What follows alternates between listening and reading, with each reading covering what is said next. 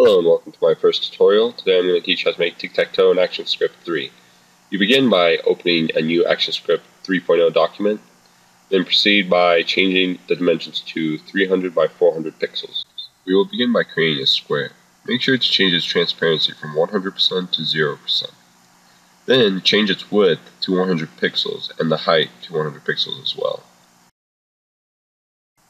Convert the box you just created into a movie. Then double click on your new movie clip and add two new keyframes and name the layer BG. Then create a new layer and add another two new keyframes. On the second layer, add an X to the second keyframe and an O to the third keyframe. This will become important later on when we add the action script.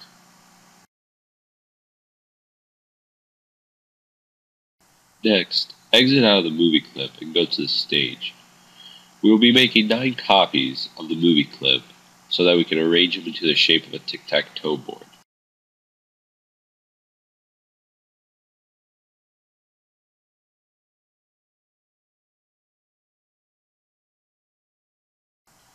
Here I am making a simple UI for the scoreboard. It will keep track of how many times you win. Now, go to the timeline and add a new layer. Call this layer text. Now get out the text tool. We're going to be finishing up the rest of the UI. First make a box and type in me colon. You copy the box and paste, and then type in AI. Then we will create another box. This will contain whether you win, lose, or tie. This will finish up the rest of the UI for now, and all is left is the action script. Now, just create one more layer. This is going to contain all our action scripts, so we're going to call it actions. Now we're going to create the instance names. Click on me and give it the instance name of me. Then click on the AI box and give it the instance name of AI. Then click on the third box you created and give it an instance name of info. Now we are going to have the instance names for each of our nine movie clips. We're going to call them A through I. Next, click F9 to go into your Actions panel. We are going to name all our variables. Variable 1 is going to be called box array. This will let us easily access our movie clips later on. Variable 2 is going to be called my turn. This will simply tell you if it is a player's turn. The next variable is going to be called winner. This will tell you if there has been a winner. Variable 4 will tell you what the player's score is, and variable 5 will tell you what the computer's score is. Variable 6 will tell you how many turns have been executed. Here I will be making a for loop. This will only be triggered once when you start the game. This will provide a lot of fundamentals that are needed to make the movie clips function properly.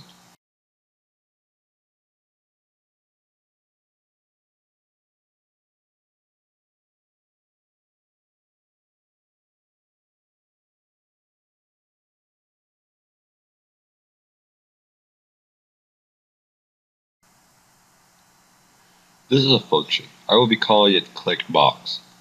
This function will be triggered every time you click one of the movie clips. For those of you who don't know, the exclamation mark means not equal to, the two ampersand signs means and, and the equal equal equals equal to.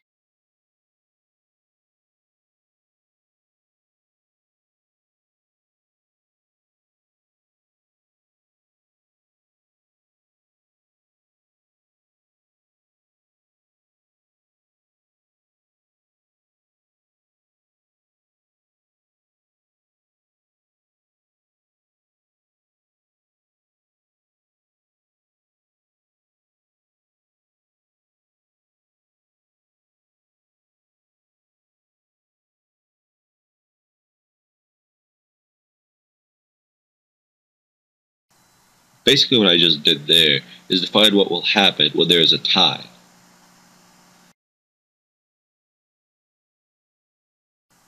Now I'm going to define what happens when there is a winner. Basically, when you win, the game will reset and all the values will turn to what they were originally were before you started the game.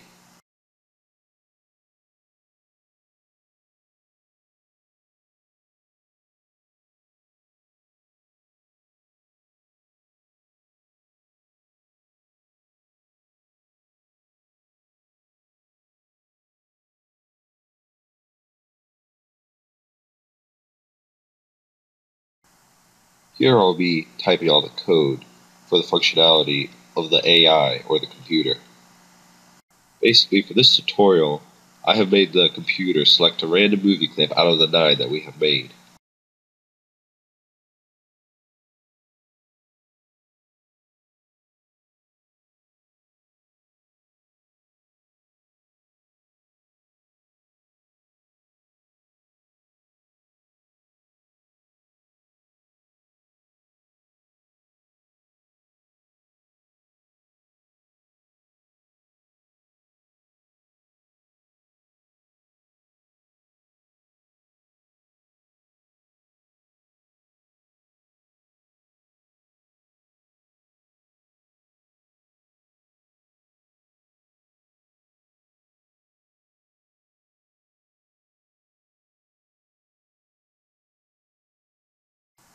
This next function right here will check if either of the players has gotten three in a row.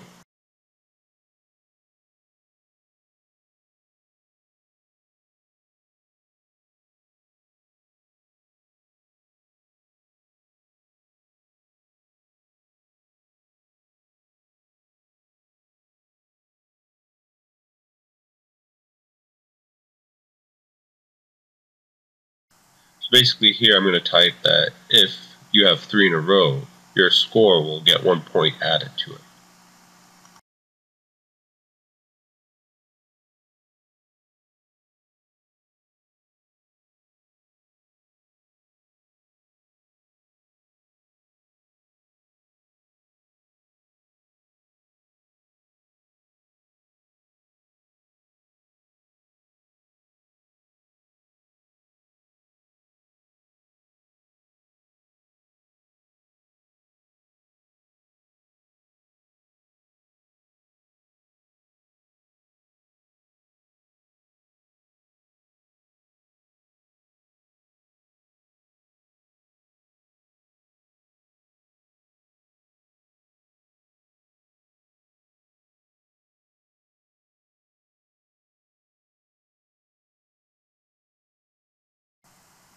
This part right here will see if the computer got three in a row rather than yourself.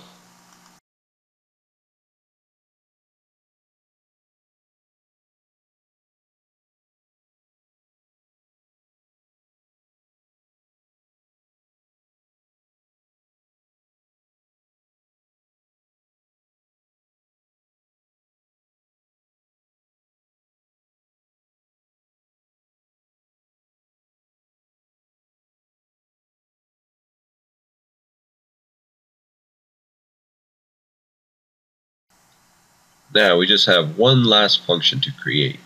It has to do with the function we called earlier. This function will generate a random number for us to use